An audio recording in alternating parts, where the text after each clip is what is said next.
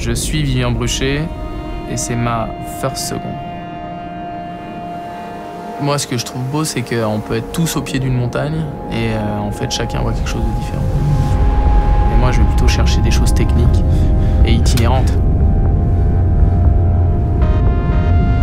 Quand j'écris après une sortie, c'est comme si je faisais un zoom arrière sur une journée.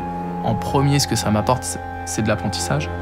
Derrière tous ces petits récits, c'est une vraie, euh, une vraie envie de liberté.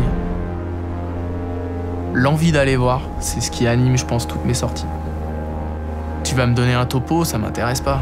Par contre, tu, me donnes une photo d'une montagne et, et, tu me laisses la liberté d'imaginer ma propre ascension.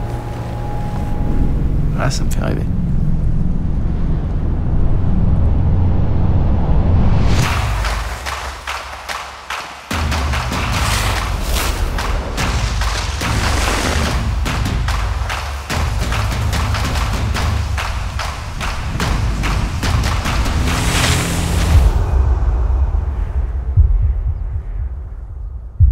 De la montagne, il n'y a rien qui est anodin.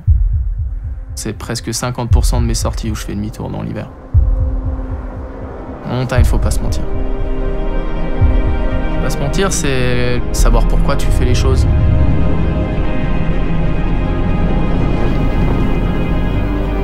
Quand tu remontes ton itinéraire, tu vas chercher vraiment l'endroit où, où ça skie le mieux, tu vas repérer.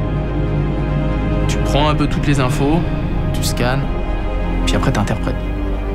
Je vais toujours guidé par le terrain, se projeter, avoir conscience de où tu es, où tu te situes. En fait, c'est essentiel. Plus j'ouvre mon regard, et mieux c'est.